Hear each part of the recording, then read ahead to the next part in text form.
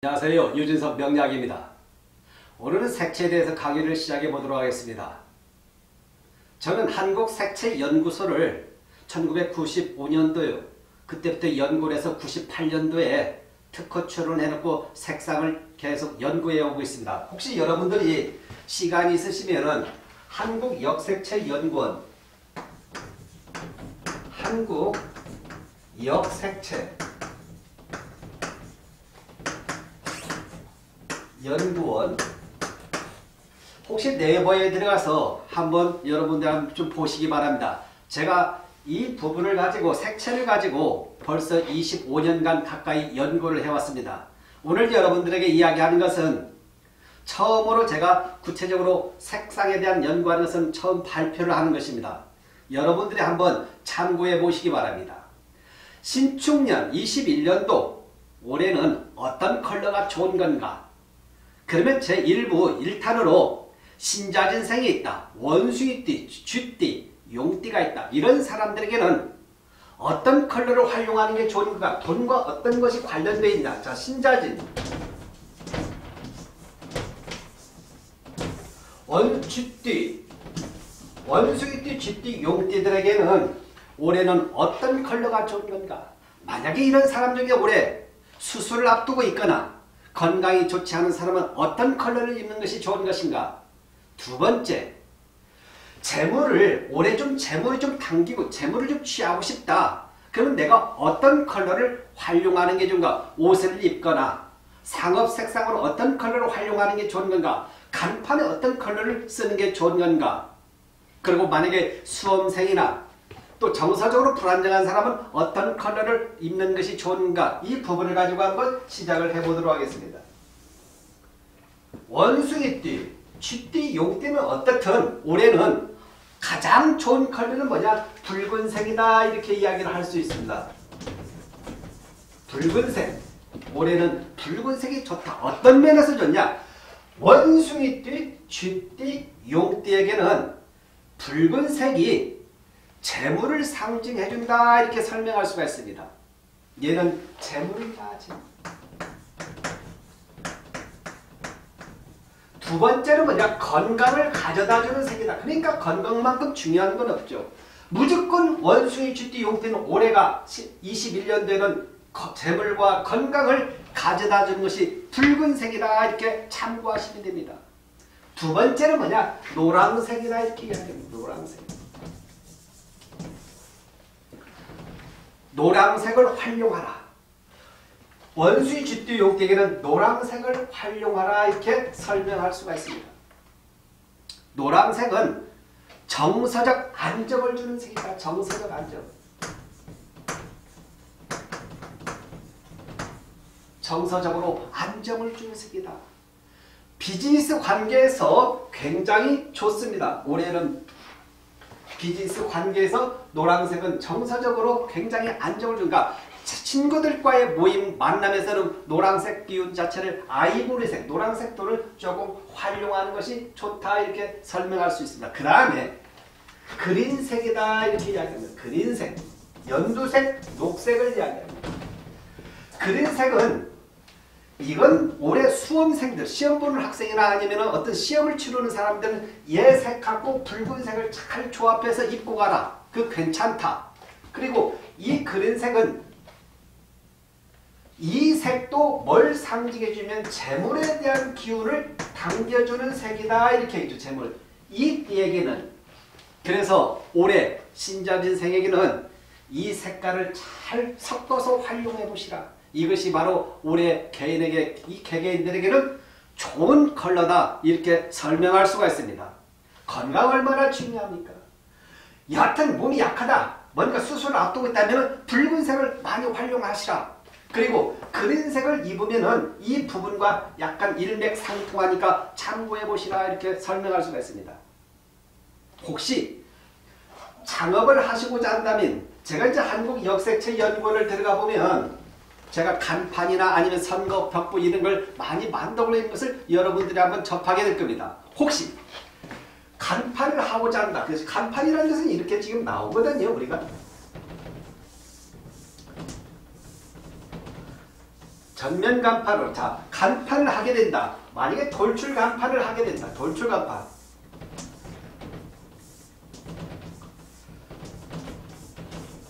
자 이게 돌출 간판이겠죠. 자 그러면 간판을 하게 된다면 왜 제가 이야기하면 이때만큼은 올해 혹시라도 가게를 오픈하게 된다면 잘 활용해 보시라는 거죠. 자 상호라는 것이 있으면 상호. 상호고 그 다음에 아이템이 나갑니다. 예를 들면 사당 숯불갈비니 이건 수, 뒤에 숯불갈비는 뭐냐? 내가 어떤 걸 하고 있다 이것을 알려주는 아이템을 이야기합니다. 이 상호는 이 상호는 이 가게의 이름이죠. 이름. 그러니까 여기에서 이것을 하고 있다는 걸 가지고 지나다니는 사람들에게 아니면은 그 손님들에게 이걸 가지고 알려주는 역할을 하는 것이죠. 당연히 돌출 간판에도 이렇게 올라가겠죠. 이게 뭐라고? 올라가겠죠. 그러면 간판은 여러분들 우리가 그냥 수도 없이 많은 간판이지만 간판을 한번 생각해 보자는 거죠. 간판은 비가 오나 눈이 오나 1년 12달 밖에서 죽으라고 뭐냐 주인을 위해서 묵묵히 일을 합니다. 불평불만 없이 딱 다뤄놓으면 열심히 일을 해요. 나 여기서 이런 거 하고 있어 이렇게 알려줍니다. 간판. 그러면 사람들은 지나가다가 이 가게에 간판을 보고 어, 저거 먹으러 가자 저거로 먹으러 가자 이렇게 해서 그 가게를 들어가게 됩니다. 그리고 그게 맛있으면 단골이 되죠. 그러니까 얘는 다시 이야기하면 간판은 정말로 그 주인에게 최고의 파트너이자 가장 묵묵히 일하는 일꾼이라는 것이죠. 쉽게 말하면 얘는 홍보죠. 엄청난 홍보를 하고 있죠. 지나다니는 사람에게 말은 하지 않지만 말없이 말없이 일하는 것이 간판이다. 그러니까 간판은 일 말없이 묵묵히 일하는 것이 간판이라는 것이죠. 그러면 장사하시는 분은 정말 간판이 중요하다. 왜? 밖에서 일단 모르는 사람을 간판 보고 들어가는 거죠. 그 맛이 있는지 어떤지 주인이 어떤지 그 다음 들어가서 알 내용이고 먼저 손님을 끌어당기는 것은 바로 간판이라는 것이죠. 그러면 간판만큼은 잘 잡아주라. 올해 신자진생들이 만약에 간판을 잡는다 이 삼원색을 활용하라는 것이죠. 그러면 여기에서 상호는 어떤 색을 잡을 것인가? 재물을 상징해 주는데 상호를 어떤 걸 할 것인가? 그런데 노란색은 뭐냐면 여기서는 방향을 이야기해 준다. 방향. 방향, 방향. 자, 그러면 여기서 들어올 때 상호를 상호는 어떤 컬러를 갖고 잡으냐? 재물을 상징해 주고 하는데 어떤 컬러 안정도 주는 건데 그 다음에 아이템 이게 뭘 하고 있다는 아이템 이것 어떤 컬러로 잡았냐 바탕색은 무슨 컬러로 잡았냐 이 세 가지를 갖고 잡아야겠죠. 근데 마지막에 중요한 것은 가장 중요한 것은 방향이라는 겁니다. 방향에서 방향에서 어떤 컬러를 잡을 것인가 개개인의 방향 그러니까 가게에 출입구가 동쪽으로 있느냐 서쪽으로 있냐 남쪽으로 있냐 북쪽으로 있냐 다 다르다는 거죠. 이 방향에 의해서 얘를 조정해서 잡는데 일단 이 신자지서는 이 세 가지 띠를 잡은 것이 중요하다. 그래서 이렇게 잘 잡아놓으면 이 가게는 어쨌든 그 가게는 이 띠들에게 이 가게는 근본적으로 기본은 먹고 들어간다 이렇게 설명할 수가 있습니다. 이것을 저희가 오랜 세월 26년간 가까이 연구를 해온 것입니다. 이런 색상에 대한 것. 그런데 건강도 있더라는 거예요. 건강. 내가 어떤 컬러를 입는가. 이미 외국은 색채를 하고 색채 요법이라고 유럽은 이미 색채 요법 그러니까 컬러를 가지고 사람들 자연 치유를 하고 있습니다. 어떤 컬러를 입는 거다. 내가 어떤 컬러를 활용할 수 있는가. 돈을 벌고 싶다면 만약에 내가 가게를 하게 되면 어떤 컬러를 쓰게 입는 게 좋은가. 내 직원들 아니면 함께 일하는 사람들 가운은 어떤 가운을 활용하는 게 좋은가. 가운에다가 어떤 식으로 상호를 만약에 그 바탕색 가운을 어떤 식이고 글자 상호 색깔 어떤 색으로 해서 그 옷을 입고 종업원들이나 직원들이 왔다 갔다 하는 게 그 가게 안에서 좋은 것인가 이런 부분이 색에 대한 연구를 해서 가 나오는 건데 일단 근본적으로 기본적으로 이 신자진생들은 이, 이 색깔을 오래 활용할 필요가 있다. 건강에 대해서 정말 열 번 강조해도 부족하면 이 건강 건강에 대해서만큼은 붉은색을 잘 활용을 해봐라 그래. 섞어서 잘 해봐. 특히 이 색안의 색은 이 띠들은 뭐냐? 상하 옷을 섞어서 이렇게 잘 활용해보는 것이 가장 좋다 이렇게 설명할 수가 있습니다. 그런데 중요한 것은 붉은색이 이 속에서 건강에서는 1순위, 재물에서도 1순위를 이야기해 줍니다. 얘가 1순위예요. 두 번째예요. 세 번째입니다. 가장 비율 자체가 커요. 얘가 만약에 한 60%를 한다면 얘가 한 30%고 얘는 한 10%에 해당이 된다는 거죠. 그러니까 6대 3대 1이니까 기본적으로 붉은색이 가장 신자진생에게는 중요하다 이렇게 설명할 수가 있습니다.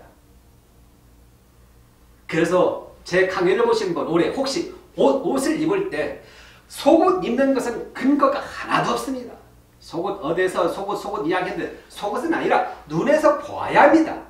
시각적으로 눈에서 보는 것, 눈을 보는 것은 우리가 화를 이야기하는 눈에서 보고 뇌에 전달이 돼요. 오, 목이 오행상 목에 전달이 된다는데 그러니까 눈 보고 뇌에 전달하고 심장과 눈이 연결이 돼 있죠. 뇌가 연결이 돼 있기 때문에 어쨌든 색깔은 내가 입고 밖에 표면 그 밖으로 나온 색깔이 속옷이 아니다는 것 또한 한 가지 좀 유념하시고 이 색깔을 잘 활용하셔가지고 올해 신자진 원숭이 쥐띠 용띠들은 이 어려운 난국을 잘 극복하시고 사업적으로 번창하시고 건강도 되찾고 회복하시고 또 더욱더 건강하시기를 바란 뜻에서 이 강의를 한번 시작했습니다. 여러분 한번 참고해 보시기 바랍니다.